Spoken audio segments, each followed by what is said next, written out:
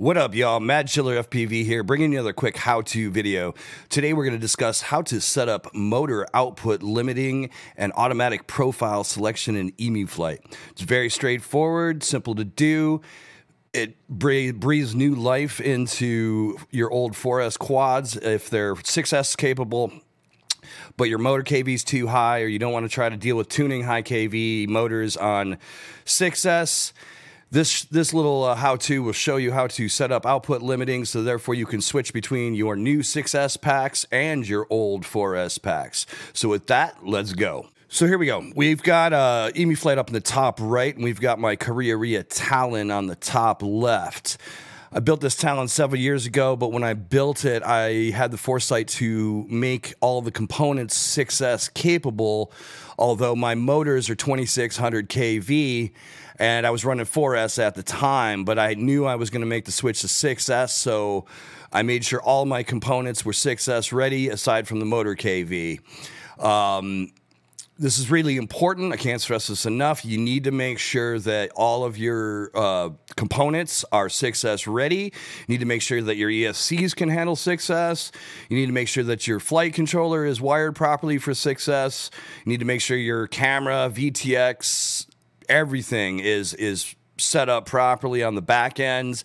And even though your motors may have been rated for 4S and they're high KV, this this demo is going to show you how to set it up so you can uh, run both 6S and 4S on the quad without smoking your motors and even set up uh, different tunes as needed.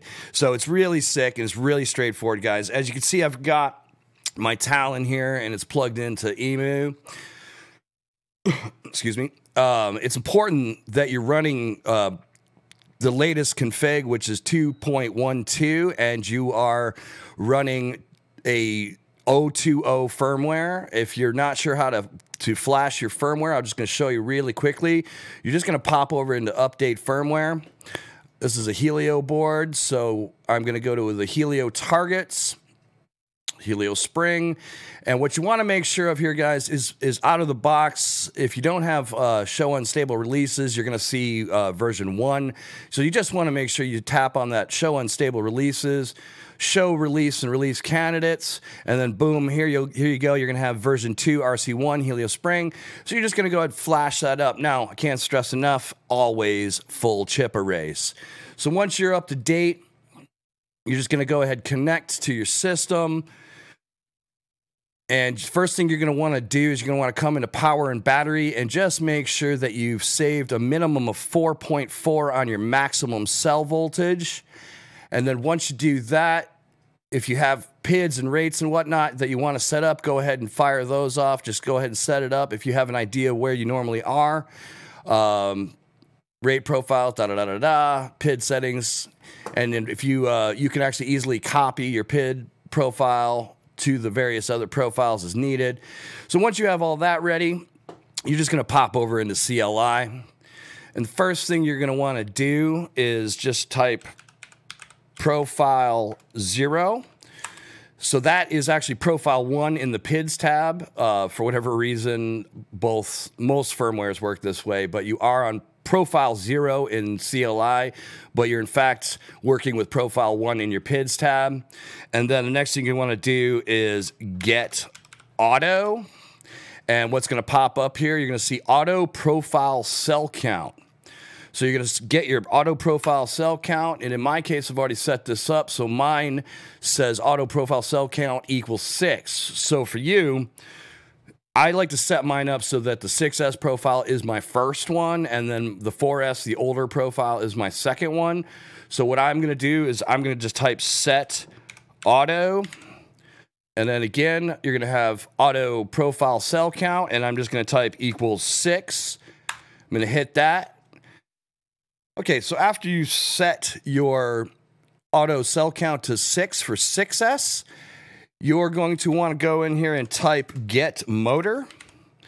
And on the pop up here, you should have motor output limit. You're going to hit that. Mine is currently set to 70. Okay, so why is that? Well, I'm running a 2600 kV motor. So what you're going to want to do is you're going to want to grab a calculator and you're going to want to determine what 6S KV you're uh, attempting to emulate. In my case, I was considering 1750 for a racing setup. I might go a little higher, but I'm going to start here. It's a good safe starting point. So I'm going to type in 1750 on my calculator. I'm going to divide that by 2600, which is my current motor KV, and that's going to give me a percentage 0.67. So just type times 100, and that's going to 67 is your percentage. So what I decided to do is just round round up to 70. So I'm probably a little closer to 1800 kV, but you know whatever happens, we'll see. So boom, there you go. So once you have that number, you're just going to go in here and you're going to type set motor and motor output limit will pop up and you'll type equals 70 or whatever your number is and hit enter. I'm not going to do that. Mine's already set. So the next thing you're going to want to do is you're going to want to set up set it up so that if you plug in a 4S pack, um, that it's going to switch profile. So as I've said before, we are currently on profile zero. I'm just going to type that in again. But what you're going to want to do next is you're going to want to type profile one. And in this case now, you want to get auto. Auto profile cell count, hit enter. And I've already got mine set to four, as I've already set this up. So again, you're gonna wanna set that by typing set auto, auto self, auto profile cell count, and you're gonna type equals four, and you're gonna hit enter. And once you've done that, you're now going to double check your motor output limiting for this profile. So you're gonna type get motor motor output limit and you're going to want to make sure that your motor output limit in this profile is still set to 100 if it is not it's very simple. Just type set motor and then type equals 100 and hit enter. Once you're all done with that you want to make sure you type save. Once you've saved it your FC will reboot and it's going to pop you back into uh, EmuFlight here. Excuse me and now you can test it. So what's important, a couple things I want to mention really quick before I go in there. Do not, whatever you do, do not come into rate profile selection and set any sort of throttle limiting. Uh, that is the incorrect way of doing that. You want to, it will limit your throttle resolution, which is, you know, throttle controls everything, especially for racers. So you do not want to affect the feel of your throttle control. The proper way to do this is, in fact, to go into CLI and set up your output limiting, as I've shown you, and uh, uh, set it up against your different pro profiles. So that way, again, you can't plug in a 4S pack on a 6S, a 6S PID profile or vice versa. You, and probably more importantly, you don't want to plug in a 6S pack on a 4S profile because your PIDs are potentially going to be much higher and you could see a flyaway or some other erratic behavior. So can't stress that enough. Make sure you do this in CLI. So once you've done that, you can confirm everything's working.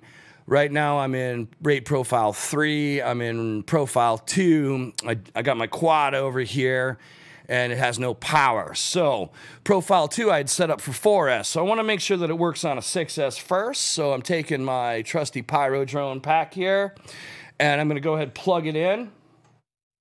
Plugging it in. Okay, I've got a 6S pack here.